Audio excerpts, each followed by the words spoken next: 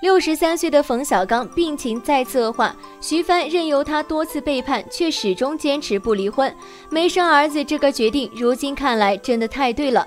就在近日，有媒体报道，冯小刚幼时的顽疾再次复发，而他却决定放弃治疗，还得到了妻子徐帆的支持。其实很多人都不知道，冯小刚光鲜亮丽的背后，有着常人无法想象的辛苦操劳。通常一年之中，只有很少的时间可以休息。而且要经常熬夜，经常奔波，而他从小就患有轻微的白癜风，在生活中需要有很多注意和禁忌，这让冯小刚感叹人生失去了乐趣。这些年来，冯小刚的病情逐渐恶化，症状表现得愈发明显，从刚开始像是抹了一层脂粉，再到面积的扩大，冯小刚的状况全都体现在了脸上。然而让人不能理解的是，他身价上亿却放弃治疗，到底是为了什么呢？说到这儿，就不得不提到他的妻子徐帆了。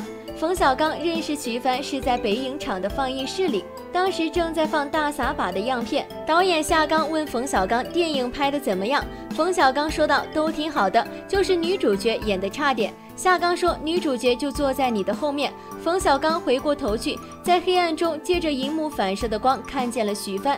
初次见面，冯小刚给徐帆的第一印象并不好。徐帆回忆说，他当时骑摩托车，穿着皮裤皮衣，我一看到他就觉得这个人怎么这么招摇，特别不喜欢。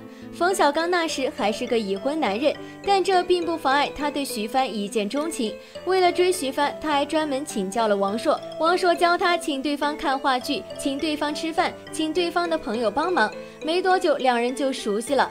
后来，他们一起去广州参加金鸡奖。冯小刚死皮赖脸地跟在徐帆身边，别人问他这谁啊？冯小刚就顺嘴说这我女朋友，一副强买强卖的嘴脸，见谁都这么说。而徐帆只是笑笑，也没有反驳，两人的关系就这么确定了。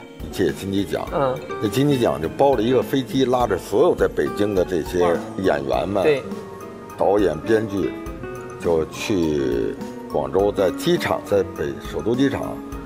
跟他见着面，我就开玩笑，嗯，冯巩给你介绍，这是我女朋友，嗯，他说谁是你女朋友？我也没燃这茬我见着谁都说这是我女朋友。天下哪有不透风的墙？没过多久，冯小刚的老婆张帝也知道了这件事情，但是并没有吵闹，甚至还装作什么都没有发生，认为这只是一时激情，等冷静下来就都好了。然而令张帝万万没有想到的是，凉掉的并非是徐帆，而是他自己。在徐帆找上门来以后，没过多长时间，冯小刚便主动找到张帝提出离婚。面对冯小刚的决绝无情，张帝也没有坚持多长时间，两人也就走到了尽头。离婚后没多久，冯小刚就娶了徐帆。俗话说得好，树大招风。随着冯小刚在娱乐圈的名气越来越大，身边的花边消息越来越多，但这两人那是照常过着自己的小日子。徐帆的态度更是表示出了不在乎，但冯小刚却并不是那么安分的人。二零零九年，冯小刚沈星长达八小时的共处一室。这期间做了什么，可能只有当事人才知道。面对这大瓜突然出现，于是大家怀着看热闹的心情，期待着徐帆的回应。但让人意外的是，这件事在徐帆和冯小刚的婚姻中，并没有掀起太大的波澜。徐帆在上访谈节目隐晦提及此事时，也只说了句：“我们家不吃亏。”大女人怎么能把控这个局面？给出点招。没招，就是我就是觉得这就是护犊子。我那我们家人，我们家人反正是男的。于是无数网友开始脑补，甚至为这段感情添上一笔悲情色彩，纷纷表示从这句话中能感觉到徐帆这么多年的隐忍和委屈，或许是不够爱，又或许是已经麻木了。都到了这样的年纪，再闹到离婚的地步也没什么意义。况且冯小刚还是很有实力的，在事业上也能很好的帮衬徐帆。如果真的离开了冯小刚，那徐帆今后的生活肯定会大打折扣。而这一切对于冯小刚来说，不仅不会受什么影响，反而有可能过得更加潇洒。而徐帆离开了冯小刚，失去的不仅是婚姻，还有优越的生活，还不如保留着夫妻的名分，好好享受这奢华的物质生活。不得不说，徐帆也是真的有智慧，他应该一早就权衡好了利弊，自己的感情不仅是看开了，还会让对方有愧疚感，对自己好一些。而冯小刚这些年也确实对徐帆很好。徐帆作为冯小刚的妻子，九三年认识，九九年结婚，由屏幕前转为幕后，两人长达二十一年的婚姻。一直喜欢孩子的徐帆却没有要孩子。随着时间的流逝，如今六十三岁的冯小刚身体状况也不如从前，白癜风病情是越来越严重，整个脸都开端泛白，恐怕如今出门都要化妆来遮盖了吧。而冯小刚的妻子徐帆表示没法治，这又是为什么呢？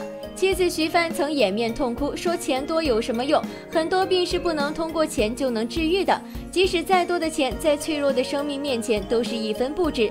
人一旦失去了健康，就等于失去了所拥有的一切。即便再有钱，也没有福气享受。原来白癜风在目前来说是难以根治的，就算用治疗缓解病情，也需要对治疗期间的饮食习惯进行调整，比如烟酒不沾、不吃辛辣生冷食物等。先前为了医治白癜风，徐帆有注意过冯小刚的吃食等生活习惯，只不过冯小刚一直致力于自己的工作。简直每天都有应酬，有应酬就要喝酒，加上他名望越高，压力越大，熬夜也成了家常便饭，所以病情不减反重。加上酒精和药物的综合作用下，药效基本发挥不出来，所以病情才会看起来越来越严重。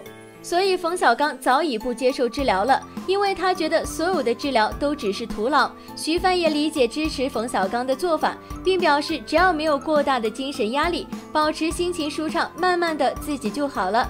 不得不说，徐帆可真不是一般人。他似乎一直都像一个贤内助，辅佐着冯小刚，并且所有事情似乎都在支持冯小刚的决定。可是，如果一个女人如果真的爱她的老公，又怎么可能这么大度？不得不怀疑，这到底是真的爱得太深了，还是真的本身在乎的就是钱呢？对此，你们有什么看法？欢迎在评论区进行留言讨论哦。